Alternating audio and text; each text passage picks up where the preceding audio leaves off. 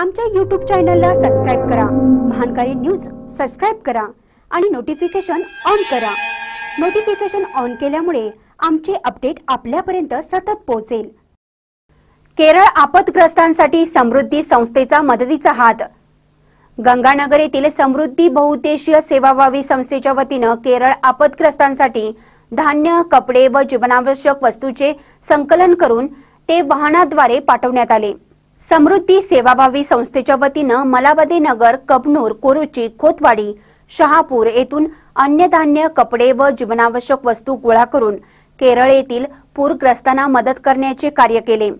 सदर साहित्य सिद्धगिरी कनेरी मठ येथे पाठवण्यात आले व तेथून केरळ पूरग्रस्तांना पाठवण्यात येणार आहे. सदर साहित्य रवाना करणाऱ्या गाडीचे पूजन नगरसेवक मनोज साळुंके शिक्षण समिती सभापती मनोज हिंगमिरे माजी शिवसेना शहर प्रमुख धनाजी मोरे यांच्या हस्ते करण्यात आलं.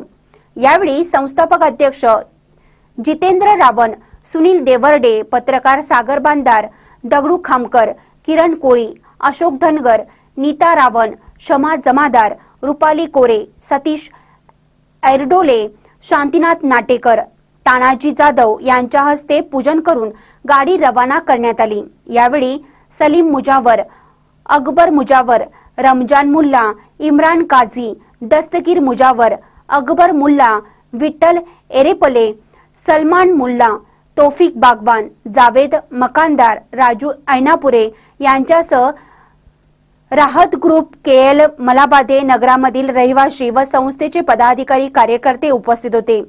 महानकारी न्यूजसाठी कोरचीहून अमित काकडे. समृद्धी सेवा संस्था आता तुम्ही जे इथं कार्यक्रमाला आल्याबद्दल सर्वांचे मी आभार मानतो. आणि माझी अं, परवा दिवशीच ओळख झालेली आहे. आणि आता नवीनच मी यामध्ये काम करायला लागलेली आहे. काम काम आहेत आतापर्यंत भरपूर. खरं असं काम की अचानक काल ओळख झाल्यानंतर संध्याकाळ आम्ही सगळं साहित्य गोळा करून आज अचानक आम्ही आता ते कनेरी मठाला पोहोचही करायला चाललोय. आणि एवढ्या कमी वेळामध्ये एवढ्या सगळ्यांनी तुम्ही सहकार्य केला. अं, खरोखरच कौतुक करण्यासारखी गोष्ट आहे. आणि या ठिकाणी केरळ राज्यामध्ये निसर्गाच्या प्रकोपामुळे जी त्या तेथील लोकांच्यावर प- प्रकार ओढवला जी जी काय नासधूस झाली तिथे किंवा लोकांच्या लोकांची घरं पडली अनेक लोकांना तिथे कपडे घालायला नाही आहेत. बरीच म्हणजे आर्थिक नुकसान कुणाचं घराचं नुकसान त्या ठिकाणी प्रचंड प्रमाणात केरळ राज्यामध्ये झालेलं आहे. आपत्ती कोसळली आहे.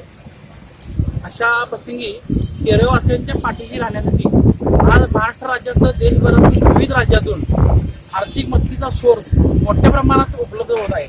ही खरं तर सामाजिक बांधिलकीची जाणीवच म्हटली पाहिजे.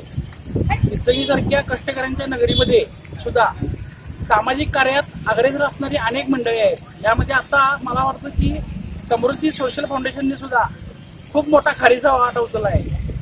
आमचे परममित्र जितेंद्र रावण साहेब असतील मुजवर साहेब असतील त्यानंतर कोरे मॅडम असतील आणि त्यांचे सहकारी मित्र असतील या सर्वांनी केरळवासियांच्यावर आप- कोसळलेल्या आपत्तीसाठी मदत करावी या उद्देशाने जीवनावश्यक वस्तू अन्नधान्य असतील त्यानंतर आर्थिक स्वरूपात काही मदत असतील ती गोळा करून त्यांना पाठवण्यासाठी एक चांगला उपक्रम या ठिकाणी राबवलाय.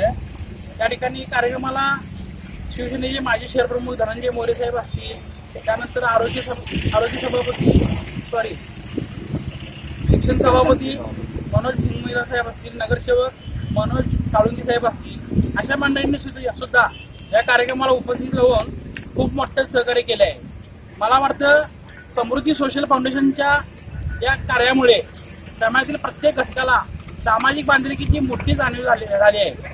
तर असे उपक्रम राबवल्यामुळे ज्यांच्यावर मोठे संकट ओढवले आहे अशा लोकांना चांगलं मानसिक आधार सुद्धा मिळेल तर मला वाटतं की या कार्यातून खूप मोठा चांगला संधी देण्याचा प्रयत्न समृद्धी सोशल फाउंडेशनने केला आहे अशा कार्याला आम्ही नेहमीच पाठबळ देण्याचा निश्चित प्रयत्न करू.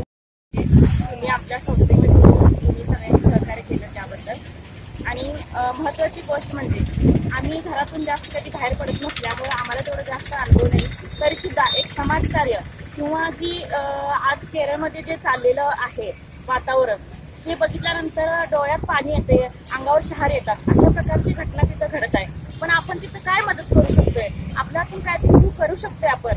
ह्या दृष्टिकोनातून ज्या वेळेला साहेबांनी सांगितलं असंच आपण कपडे वगैरे धान्य काय असेल ते गोळा करायचंय आणि नेऊन द्यायचं आहे ठीक आहे म्हटलं साहेब. मग आम्ही कालच शापूरमध्ये गेलो तिथे हा एक कार्यक्रम पार पडला. तसंच आम्ही आमच्या गल्लीत जाऊन प्रत्येक घरात जाऊन सांगितलं असं आपण केरळला सहकार्य करायचं आहे तुमच्या हातून काय होतं ते आमच्या घरात त्या लोकांनी जे काय असेल ते मदत म्हणून आमच्या घरी आणून दिली. परत आज सकाळी गोळा करून साहेबांनी एवढं कष्ट केले की